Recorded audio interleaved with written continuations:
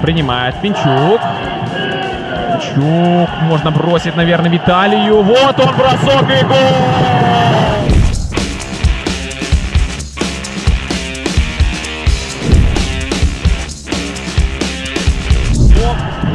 10-10 по итогам двух матчей.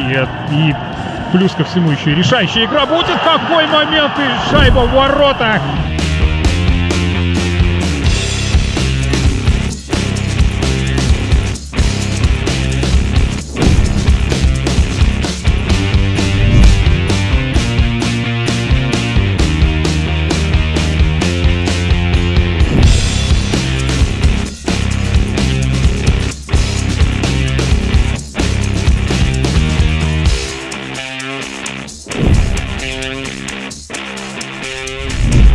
В атаке себя проявить.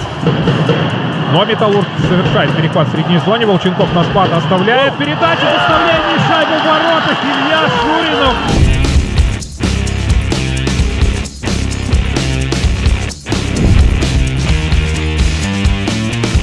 Деня Раисова и Лупского.